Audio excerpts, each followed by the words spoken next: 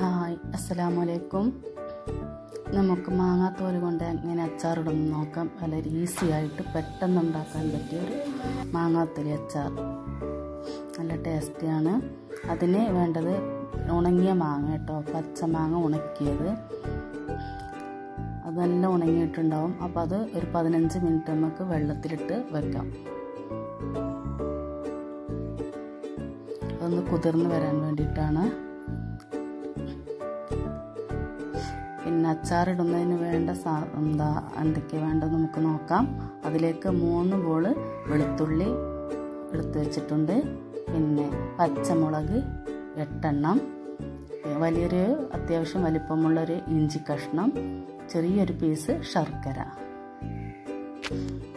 പിന്നെ അതിലേക്ക് വേണ്ട മസാലപ്പൊടികൾ പിന്നെ മുളക് പൊടി മൂന്ന് ടേബിൾ സ്പൂൺ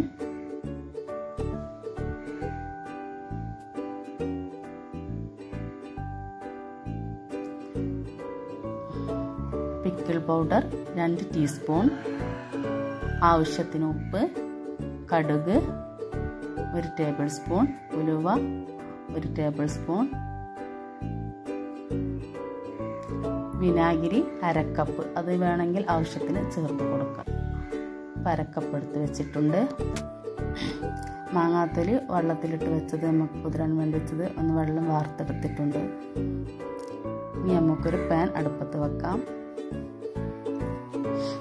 അതിലോട്ട് എണ്ണ ഒഴിച്ചു കൊടുക്കുക. അതിലേക്ക് ഒരു സ്പൂൺ ഉലുവ ഒരു സ്പൂൺ കടുക് ഇട്ട് പൊട്ടിക്കുക. അത് പൊട്ടിയതിന് ശേഷം അതിലോട്ട് വെളുത്തുള്ളി ആഡ് ചെയ്ത് കൊടുക്കാം. വെളുത്തുള്ളി ഒന്ന് മിക്സ് ആക്കിയതിന് ശേഷം അതിലേക്ക് ഇഞ്ചി പച്ചമുളക് ഇവ ചേർത്ത് ഒന്ന് ഇളക്കി വഴറ്റിയെടുക്കാം.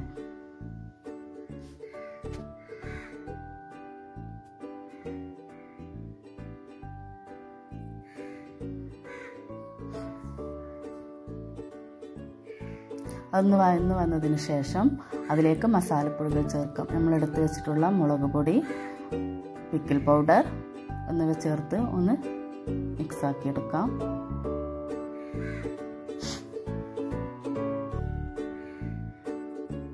പിന്നെ അതിലേക്ക് നമുക്ക് കാ ടീസ്പൂൺ ഉലുവാപ്പൊടി ചേർത്ത് കൊടുക്കാം.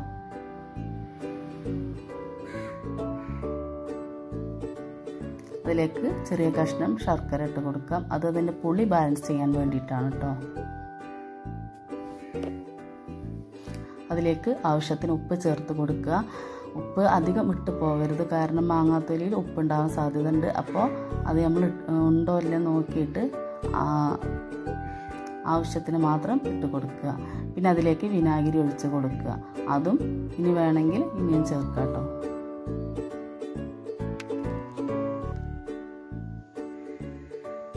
ഇവയെല്ലാം മിക്സ് ആക്കിയതിന് ശേഷം അതിലേക്ക് നമുക്ക് വെള്ളം വാർത്താൻ വെച്ചിരുന്ന ഉണക്കമാങ്ങ ചേർത്ത് കൊടുക്കാം. നല്ലോണം ഒന്ന് മിക്സ് ചെയ്ത് കൊടുക്കാം.